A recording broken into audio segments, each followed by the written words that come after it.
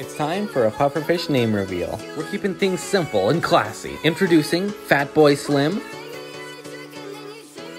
and Slim Boy Fat.